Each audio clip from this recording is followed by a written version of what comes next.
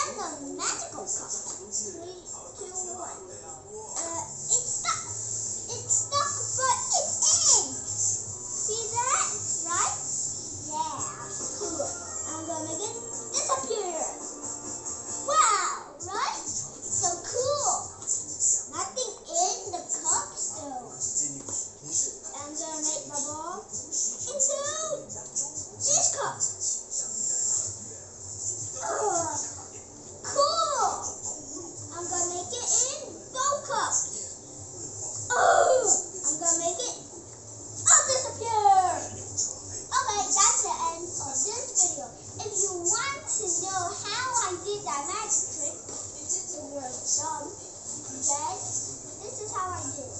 I had two balls inside of the cups. Actually, and sometimes I hold it like this, like this, so the balls came out.